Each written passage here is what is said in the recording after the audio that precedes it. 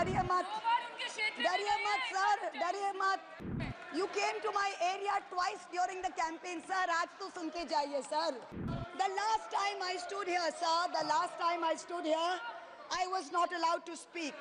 The ruling party has paid a very heavy pa- price for throttling the voice of one MP. The word Manipur nowhere in the speech. Why do we refer to the generic Northeast? Prime Minister has to take to social media himself to tell people that no, it is not Modi ka parivar, it is NDA, the Nitish Naidu Dependent Alliance. ये तुम लोगों के नाम जपो में पहले सा आराम नहीं ज़बरदस्ती के जय श्री राम में सब कुछ है पर राम नहीं डरिए मत डरिए मत सर डरिए मत दो बार आ गए sir. You came to my area twice during the campaign sir आज तो सुनते जाइए sir. Never mind my bad luck honourable speaker sir Rahul honourable speaker sir my esteem colleagues in this newly constituted eighteen Lok Sabha I stand here on behalf of my party the All India Trinamool Congress कोई बात नहीं वो मेरे LOP है। वो मेरे LOP है। वो ऑलरेडी मुझे सुन चुके हैं। वो मेरे एलओपी है। Honourable chap honourable speaker sir my stream colleagues in this 18th Lok Sabha I stand here on behalf of my party the All India Trinamool Congress to speak on the honourable president's address the last time I stood here sir the last time I stood here I was not allowed to speak I was not allowed to speak आप लोगों ने अरे let me finish I Dimple Dimple let me finish guys please let let me finish let me finish and जितना जिसको जाना है please जाइए no problem the last time I stood here I was not allowed to speak I was not allowed to speak But the ruling party has paid a very heavy pa- price for throttling the voice of one MP. मुझे बैठाने का चक्कर में जनता ने आपके 63 सदस्यों तिरसठ जन को परमानेंटली बैठा दिया you have gone down from 303 to 240 In my maiden speech in the Lok Sabha in June 2019, I spoke on the seven signs of fascism that were taking over this country.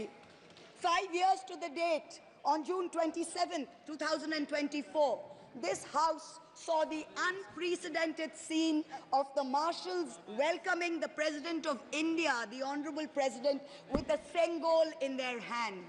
The Sengol is a is a uh, symbol of the supreme authority of a monarch.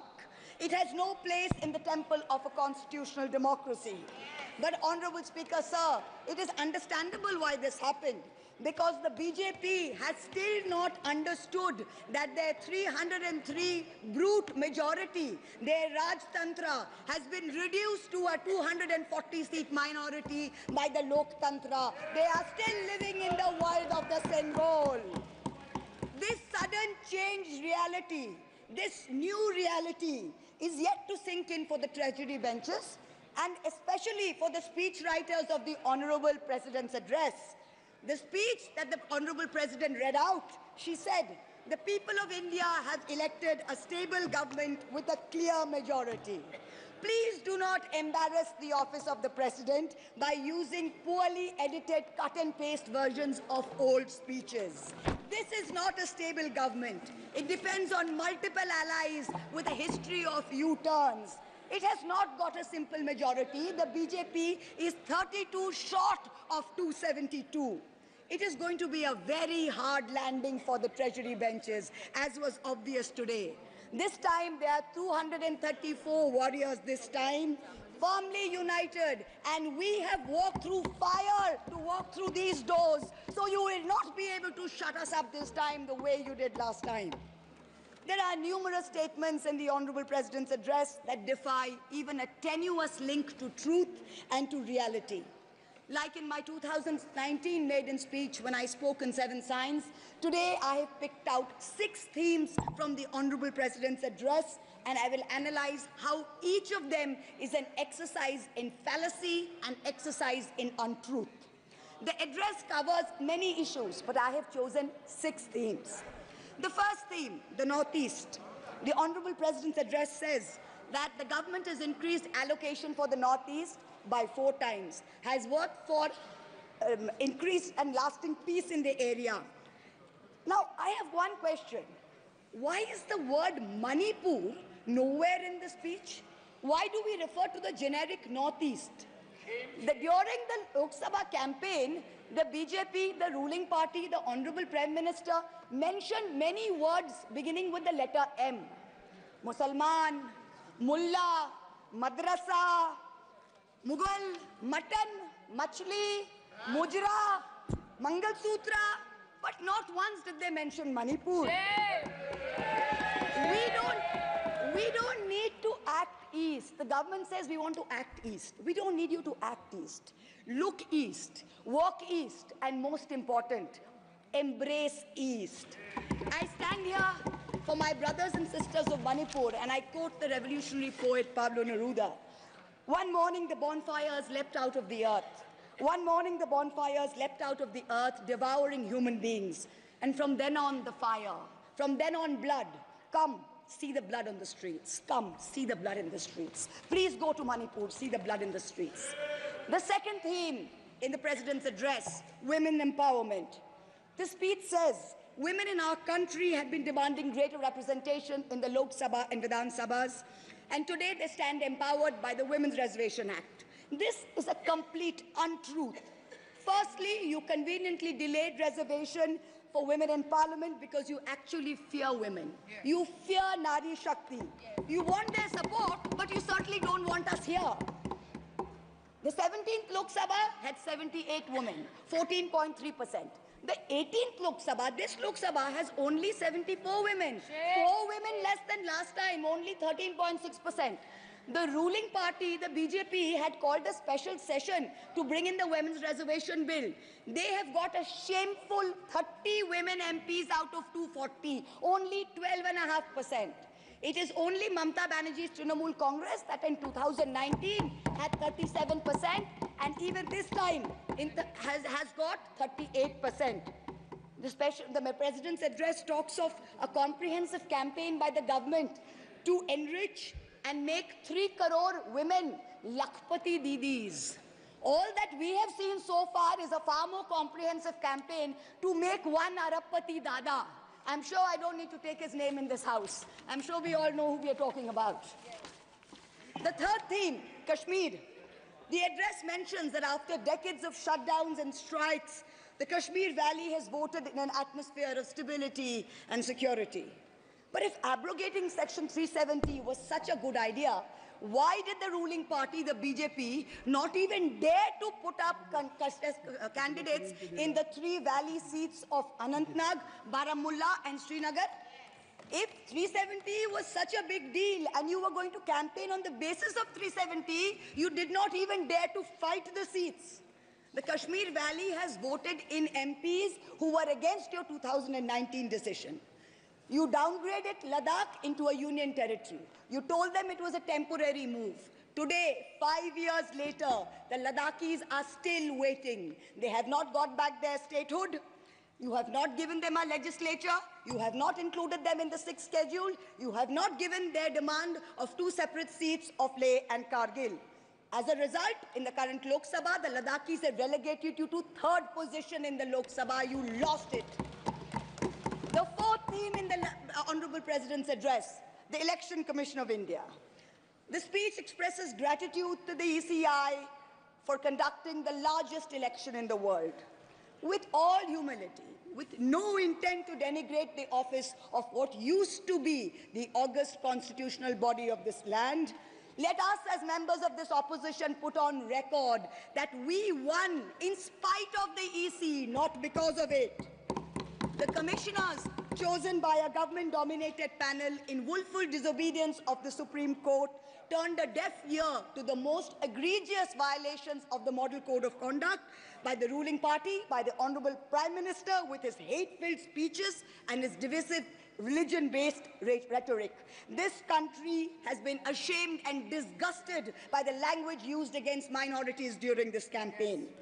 This election will go down in history where an eager and compliant election commission turned a blind eye and a deaf ear against the excesses of the ruling party when the MCC was in effect.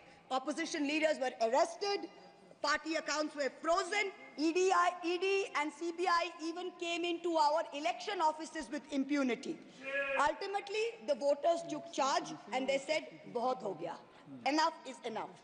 The fifth theme, and here I have to commend the speechwriter's very dark, almost macabre sense of humor. The Indian Railways, aviation and infrastructure. The address says that work on the Ahmedabad Mumbai bullet train is going on at a fast pace, and Indian Railways is doing feasibility studies for bullet train corridors in the north, in the south, in the east of India. Now, I'm going to ask the government a question. Why are you, Honorable Chairperson? Is this a cruel joke? You are sanctioning 1 lakh 8,000 crores, 1 lakh 8,000 crores for one single Mumbai Ahmedabad bullet train. A basic high-speed rail network costs 200 crores per kilometer. The Indian Railways is touting the Kavach anti-collision system. It's an automatic train protection system as the cheapest in the world, says 50 lakhs per kilometers is the cost. The total rail tracks in India is roughly about 126,000 kilometers. So the cost of covering all of India with Kavach is going to be 63,000 crores.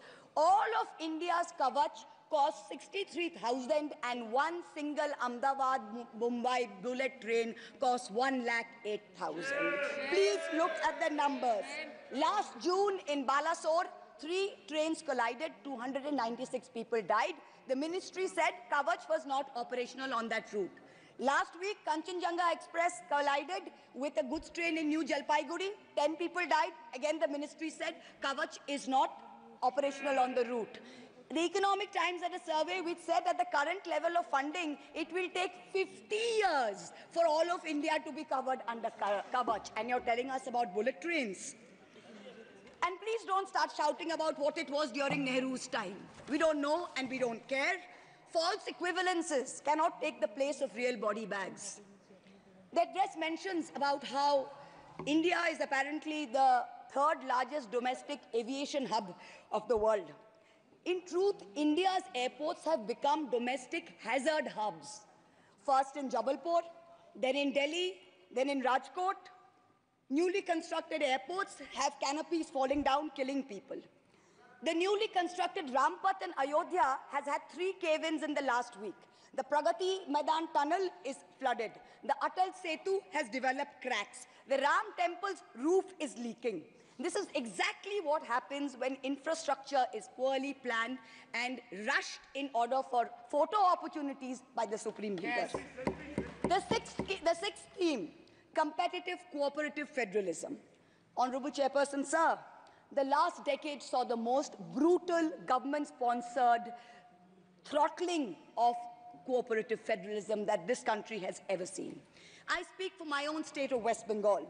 The center has withheld 7,000 crores in Manrega funds. Shame. 17 lakh households have been deprived for work already done.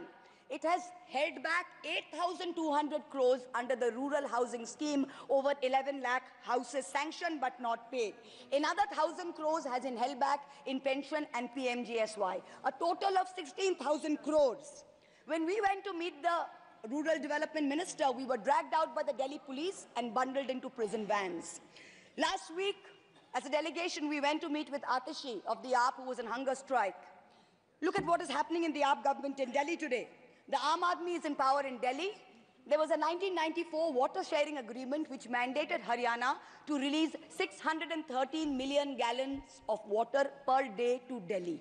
Haryana is run by the BJP government and they have reneged on this agreement. They are releasing 100 million gallons less per day, as a result of which 28 lakh people in Delhi are having to go without water per day.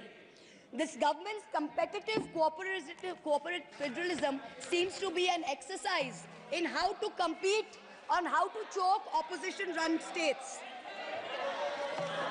भैया हमको बैठाना आप पे बहुत बैठ भारी जाए। पड़ा हम पे हमको मत बिठाइए बहुत भारी पड़ा आप पे बहुत भारी पड़ा The government spent the past five years. Honorable member, The kindly, kindly you address to the the chair. The government, Please, please, the government you spent the first five years in should almost perfecting and perfecting an elected autocracy.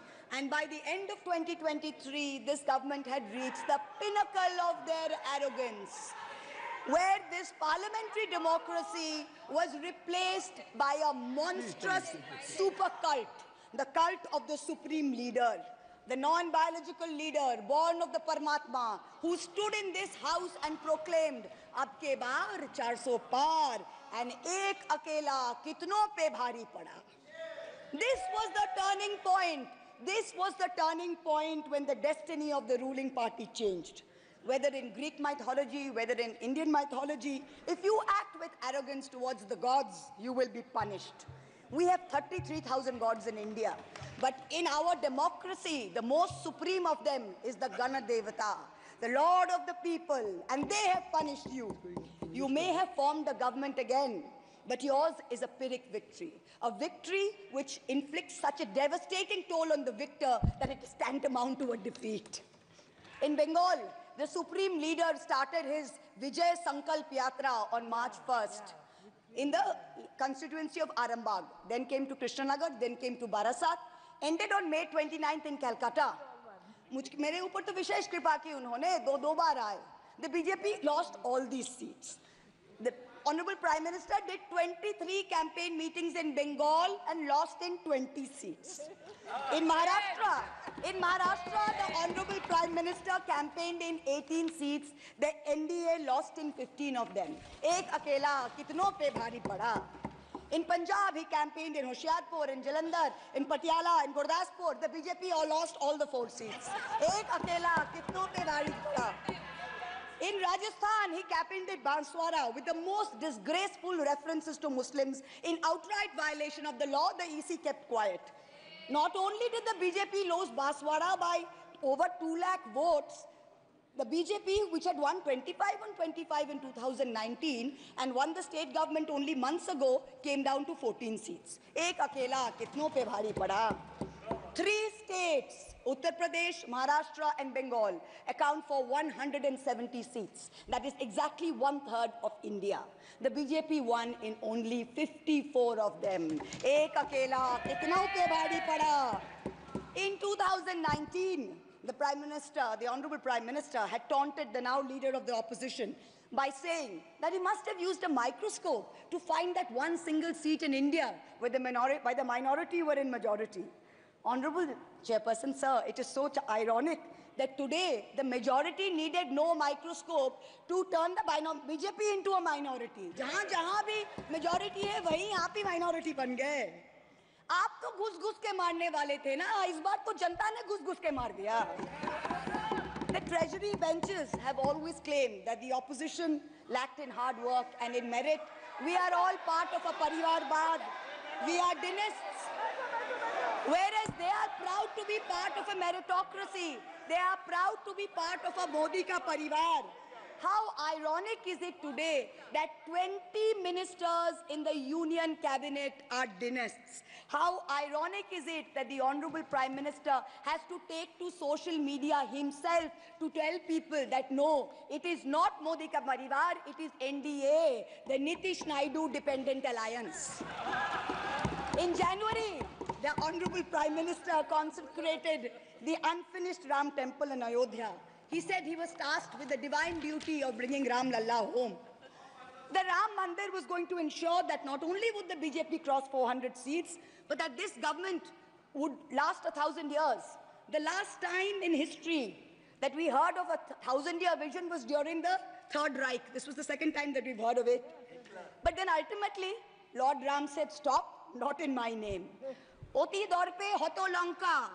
Too much arrogance, too much pride caused you to lose the kingdom of Lanka. The BJP lost in Ay- Ayodhya, Faizabad, where the temple is. It lost in Banda Chitrakoot, where Lord Ram meditated. It lost in Shravasti, where the son of the Honorable Prime Minister's ex-secretary said, my father has built the temple, campaigned in his name, you lost there. All the seats around Ayodhya, Basti, Sultanpur, Ambedkar Nagar, the BJP lost. ये तुम लोगों के नाम जपो में पहले सा आराम नहीं। ये तुम लोगों के नाम जपो में पहले सा आराम नहीं। ज़बरदस्ती के जय श्री राम में सब कुछ है, पर राम नहीं। ज़बरदस्ती के जय श्री राम में सब कुछ है, पर राम नहीं। Today in India there are two types of leaders those us who come by the voting machine and then there are many who come by the washing machine there are still people who say wait, wait, you don't know Modi ji. Wait six months and see. The BJP will get 300 members. To them, I say, no, this will not happen this time. Because every potential turncoat will have to choose between temporary greed of fear and between permanently becoming politically irrelevant. So you can offer a temp- you can accept an, a temporary offer of a ministry, you can accept a temporary settlement of an existing trumped up CBI or ED case, but and you can switch parties. But when you go back to the electorate, the electorate will punish you. Most turncoats have been punished by the electorate. Also, this time, India has very large, solid block components. The Congress has 100 seats. Um, um, SP has 37 seats. Trinamool has 29 seats. DMK has 22 seats. Uh, NCP and UPTA have uh, 17 seats. So this is not a ragtag bunch of members that you can uh, lure away. This is a solid block. So yes, it's a question of time. But the question is not whether they will get 300. The question is when people will join us and we will cross 272. The ruling party's politics have always been along the lines of religious hate and ethnic divisiveness. But even at the height of their power, when they got 303 seats, one out of two Hindus had not voted for the BJP. This time, even in their core Hindi heartland, their core voters have deserted them. The Muslims in India, over 250 of them called infiltrators, called terrorists in the land of their birth, waited silently, patiently, and bided their time. And in one voice during this election, in every state, they stood up and they told the government, and I quote the poet Puneet Sharma, Hindustan से मेरा सीधा रिश्ता है तुम कौन हो बे तुम कौन हो बे क्यों बतलाऊं तुमको कितना गहरा है the Dalits, whom the BJP paid lip service to for so many years, realized that even the talk of 400 seats meant that Baba, Bhim, Baba Sahib Ambedkar's constitution was in danger and they deserted the party. The Marathas, whom the BJP coalition had tried so desperately to woo, realized that their promises were worth nothing. The BJP and its allies lost seven out of eight seats in Marathwad. The Jats, the careers of their youth at risk with this ill-conceived Agniveer scheme. Their farming livelihoods threatened. Their female wrestlers manhandled. They vented their ire at their anger, their ire at the, uh, at the ballot box. Ultimately, it was the BJP's policies of exclusion, not inclusion. You wanted to exclude everybody, and that was your undoing. You didn't need Muslims. You trampled on Dalits. You ignored farmers. You ignored Jats. You marginalized Kashmiris. Well, they consolidated their voice during this election pan India. And today, they don't need you. That's the message they've given you during this election. ये देश ही अपना हासिल है जहां राम प्रसाद भी बिस्मिल है मिट्टी को कैसे बांटोगे सबका ही खून तो शामिल है That's what they said. You can't divide us. You can't do it anymore. This new India, this new frame of reference is going to be very hard for a lot of interest groups. Perhaps the first casualty is the legacy media. The Godi media was its own worst victim. The brown nosing TV anchors and online trolls lied, spread fake information, amplified the government's propaganda. So called psephologists who actually had printing contracts from the government of India were on TV 24 7 acting like the election was a done deal. There was no need for voting, the BJP had already won. Media moguls organized conclaves where they prostrated themselves before the Vishwa Guru. Anchors, anchors used staged interviews and set up scripts. In short, the media had lost all credibility. So when you asked the people during surveys which way they voted, they didn't trust you and they didn't tell you the truth, which is why you got it wrong. Raj Kamal Jha, the editor of the Indian Express, remarked that some media owners were so comfortable on their knees that it hurts to stand up. To them, we say, please stay where you are. There is a new generation of journalists in India today with spine, with integrity, and with courage. A media you have done your best to silence with fake cases and attempts and censorship, but they have survived and they will thrive in the digital space. I will also touch upon another pillar in our democracy, the judiciary. Two days ago, the Honorable Chief Justice of India, while on a visit to Calcutta, remarked that judges were not deities. They are here to dispense justice with compassion. Just as one can't be partly pregnant, you are either are or you're not. Justice and democracy too must be absolute. They cannot partly be in effect. The retirement age for High Court justices is 62, and the retirement age for Supreme Court judges is 65. Now, this has unfortunately contributed to High Court judges kowtowing to the Supreme Court Collegium and to the government for a last minute elevation to be able to serve for three more years and then qualify for further sinecures such as the head of the Lokpal, the head of the National Human Rights Commission, chairman of various tribunals. It has come to such a state that opposition leaders framed in politically motivated cases are denied and bail and denied justice simply because judges are even scared to touch their case for fear of offending the government. Today, today I say, the poorest people in India who have perhaps the most to lose from offending the government in power, they have shown spies, spine and uh, risen to the occasion. Your lords and ladyships, heed thy inner voice, have a spine, rise to the occasion. Seven months ago, on the 8th of December, this house was transformed into a Kuru Sabha, presided over by a blind Dhritarashtra, where Dushrasan Darbaris attempted, made every attempt to disrobe Draupadi. The ethics committee that voted to recommend my expulsion on the 9th of November, it voted 6-4, had 10 members and one chairperson. Of the five Lok Sabha members from the BJP, four have not returned to the House. The chairperson, a BJP member, has also not returned. The Congress turncoat from Punjab who voted against has also not returned. The BJP lady MP from Maharashtra who started the debate in the House on behalf of the BJP has also lost. Much like Lord Krishna protected Draupadi, the people of Krishnanagar have protected me. In the last year, in the last year, a lot of people look at me and say, oh, Mahua, you must have lost a lot. You lost your membership, you lost your house. And by the way, I also lost my uterus due to a surgery. But you know what I gained? I gained what Rahulji said, the freedom from fear. I do not fear you. Yes. I will see the end of you. We will see the end of you. Your ED, your CBI, your income tax, your trolls, your media, your bought out judges, nobody can scare us. The people of India are patient. They will wait patiently for this government to fall.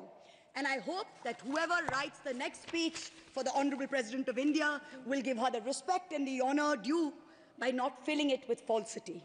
This government has dishonored the office of the President by giving her a script that is full of lies. We wait, and the people of India wait, for the restoration of her honor and for the honor of her august office. It is in this hope that I bow my head to the holiest of our books in its 75th year of adoption. Hail the Constitution, Joy Shangvidhan. Thank you.